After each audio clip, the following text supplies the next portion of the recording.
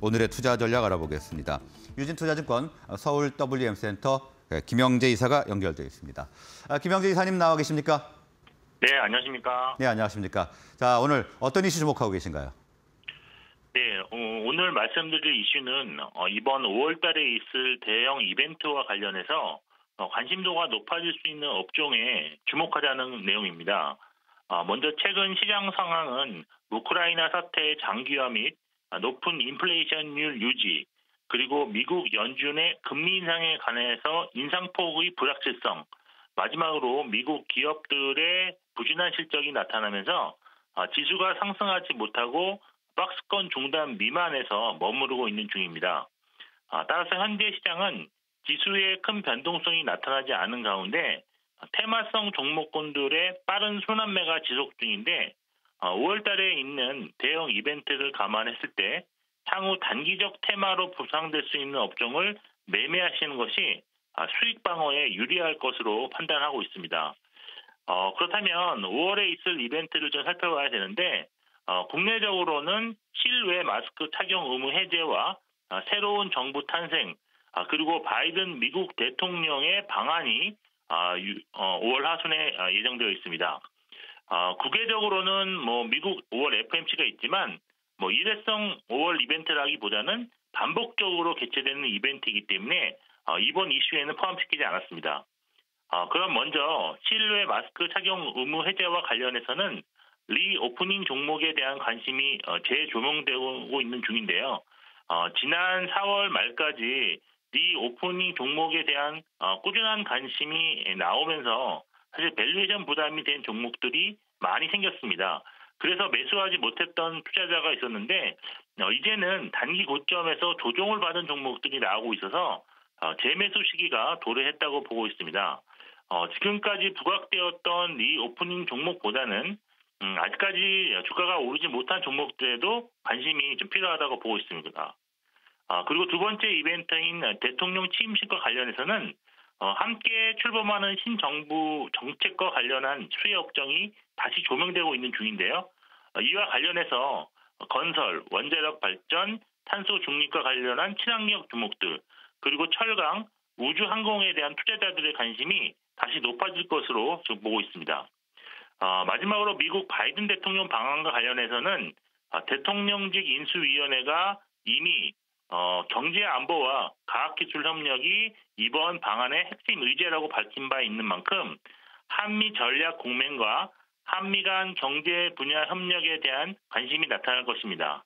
어, 따라서 반도체를 비롯한 전기차, 2차 전지에 대한 어, 미국 내 투자에 대한 구체적 사안들이 나올 가능성이 있고요. 어, 미국 역시 철강과 같은 아직 합의되지 않은 사안들을 해결해 줄 가능성도 있습니다. 어, 여기에 지난번 어, 뭐, 트럼프 대통령과의 정상회담 직후에 어, 미사일 사거리 제한을 완화시켜준 것처럼 이번에도 방위산업 분야에서 한국에 유리할 수 있는 어, 미국의 협조 어, 나타날 가능성도 있다고 보입니다. 어, 정리하자면 방위산업 및 철강 관련주와 반도체 및 반도체 장비 관련주, 전기차 및 2차 소재 부품 관련주, 그리고 친환경 관련 종목까지 관심을 가져야 하시게, 하겠습니다. 네, 테마가 형성될 업종에 주목을 하자 이렇게 말씀을 주셨는데 그럼 관련해서 어떤 종목에 좀 주목하면 좋을까요?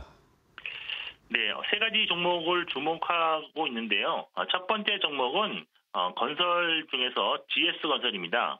어, GS건설은 1분기 그 시장 기대치에 못 미치는 실적을 발표했는데 주가는 오히려 실적 발표 이후 상승하고 있는 중입니다. 부진한 실적 발표에도 불구하고 주가가 상승한 원인으로는 양호한 수주를 기록 중에 있고 주택 매출 성장이 빠르게 진행 중이라는 점과 어, 향후 실적에 대한 기대감이 어, 나타나고 있기 때문으로 판단하고 있습니다. 특히 5월 차기 정부 출범과 6월에 있을 지방선거 전후로 부동산과 관련한 규제 완화 정책안이 나타날 가능성이 있다는 점도 투자 심리를 호전시켰을 것으로 보고 있는데 GS건설이 어, 최고 수준의 정비사업 경쟁력을 보유하고 있기 때문입니다. 올해 예상 지배주주 순이익은 전년 대비 약 1,600억 증가한 5,679억 원으로서 어, 이를 바탕으로 한 현재 주가를 어, valuation 해보면 어, PER로는 6.3배, PBR로 0.7배 수준입니다. 어, 수치적으로 valuation 부담이 없는 상황으로 어, 주가 상승 가능성이 더 높다고 판단하고 있습니다. 어, 수급적으로도 그동안 지속적으로 매도하던 기관이 1분기 실적 발표 이후 순매수로 전환하고 있어 향후 수급 상황 변화를 주목하시면서 매매 전략을 수립하셔야 하겠습니다. 어, 두 번째 관심 종목은 현대차입니다. 어, 현대차는 최근 1분기 실적으로 시장 컨센서스를 약 15% 이상 상회하는 영업 실적을 발표했는데 어, 지난 1분기가 어, 반도체 부족에 따른 생산 차질이 있을 때였고 전쟁으로 인한 러시아 공장 가동 중단이 나타났으며 중국 봉쇄에 따른 물류 병목 현상으로 글로벌 도매 판매가 7% 감소한 어려운 분기였음을 어, 감안해 본다면 어, 상당히 좋은 실적이었고요. 또한 평, 이런 좋은 실적은 평균 반- 판매 단가 이상으로 어, 이를 극복했다는 그런 평가가 나오고 있습니다. 어, 다가오는 2분기에도 환율 상승이 더욱 강화되면서 좋은 실적이 기대되고 있는데 어, 이러한 전망을 반영하듯 수급도 빠르게 개선되고 있는 중입니다. 어, 최근 한 달간 외국인은 55만 주를 순매수해서 지난달까지 순매도였던 상황이 다시 순매수로 전환되었고 어, 기관은 어, 최근 한 달간 87만 주 누적 순매수 중입니다. 향후 악화된 반도체 수급 상황이 조금 개선된다면 현대차의 전기차 확장세가 부각되면서 투자 매력은 점증될 수 있어서 하반기 주가 상승 모멘텀으로 작용할 것으로 기대하고 있습니다. 어, 마지막 세 번째 종목은 제노코입니다.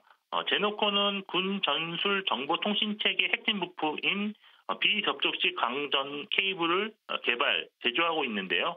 어, 국가 우주 개발 사업에도 참여하는 등 어, 방위 산업과 우주 항, 우주 항공 통신 전문 기업이라고 할 수 있겠습니다. 어, 지난해 큰 폭의 실적의 성장을 기록했는데 전년 대비 영업이익은 10, 158% 그리고 당기 순이익은 196% 증가했고 올해 역시 사업 포트폴리오를 다양화하면서 실적 성장이 예상되고 있습니다.